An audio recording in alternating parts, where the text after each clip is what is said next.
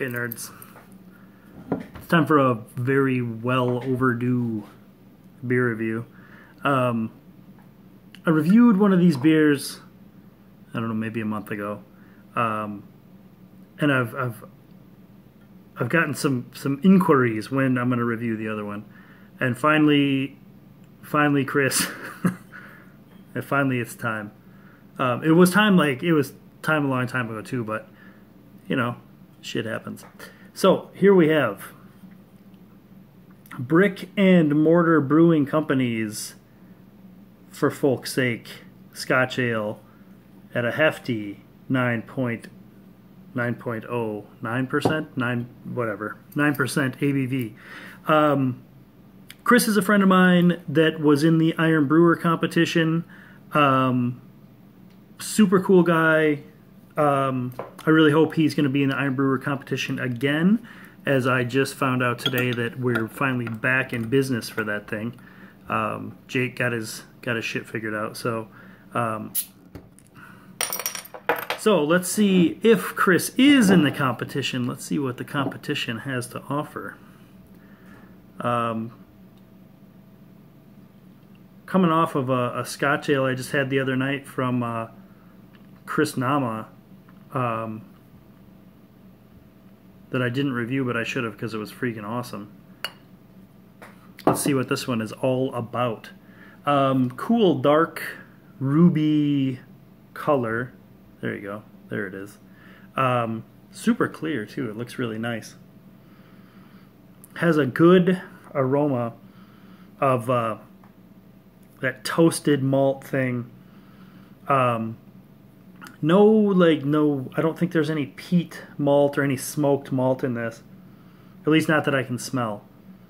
Um, I generally, well, I shouldn't, I'm just going to keep my mouth shut. Whether I like peated malt or I don't, who knows? Um, smells nice though, dude.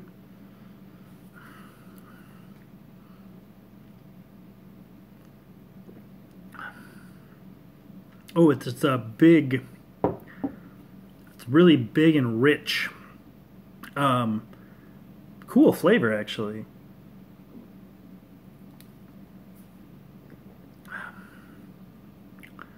Yeah, it's nice for nine percent. It doesn't it doesn't drink nine percent at all.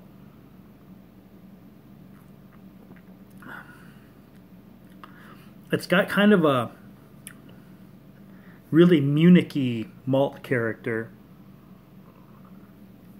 um, Munich, and also there's a like aromatic malt gives it that same really caramely kind of kind of richness. I'm sure there's neither of those malts in this beer, but um, just interesting that that's what my mind jumps to.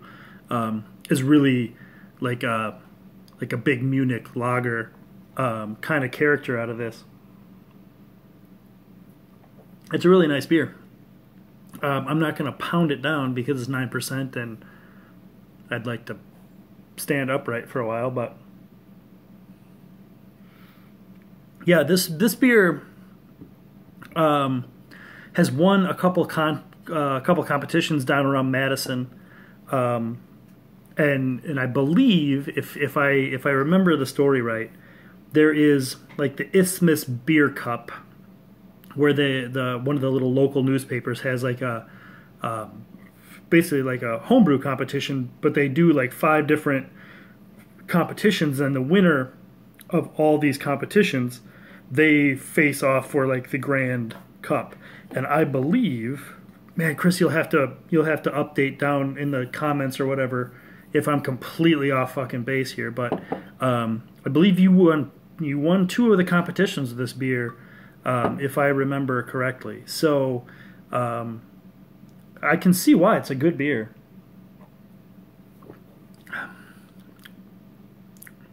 Not my not my style of beer, but a really really well brewed beer.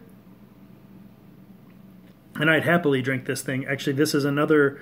Maybe I do like Scotch ales more than I thought because I've traditionally I'm not a Scotch ale guy. Um, but the one Chris made the other night and now this one, this is two in a row that I really, really like. You could uh, get out over your skis in a hurry. I think with this beer. Yeah, we're definitely gonna have to uh, trade some beers with with Chris coming up soon, and hopefully he jumps on the the video the video train. Um, he's he's threatened it before, but hasn't ever uh, pulled the trigger. So uh, hopefully he uh, throws a homebrew Wednesday or a, or a beer review or something up uh, one of these days, and uh, we can kind of you know embrace him into the nerd community that we have here. Um, maybe I'll get him in the in the new. Uh, well, it's not new, but it's new to me. Um, the new group on on the Facebooks because that thing that thing is freaking bananas.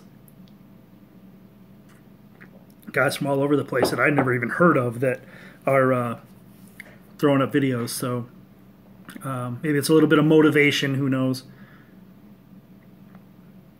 Either way, uh, Chris, rad beer again. Uh, both your beers were awesome that were in that box. Um, I believe Brock uh, thought the same thing because I split those off with Brock, and uh, yeah. So thanks for the beers, man. Uh, super good stuff. I hope to see your face on the internet um, sooner than I see your face in a in a pub somewhere, um, or maybe see your face in a pub before I see it on the internet. Who knows?